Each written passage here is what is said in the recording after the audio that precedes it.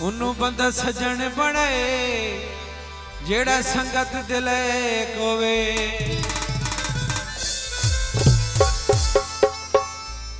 ਦੁੱਖ ਹਿਜਰ ਫਿਰਾਕ ਭੁਲਾਵਣ ਲਈ। ਓਏ ਓਏ ਓਏ ਥੋੜੀ ਪੀ ਲਈਏ।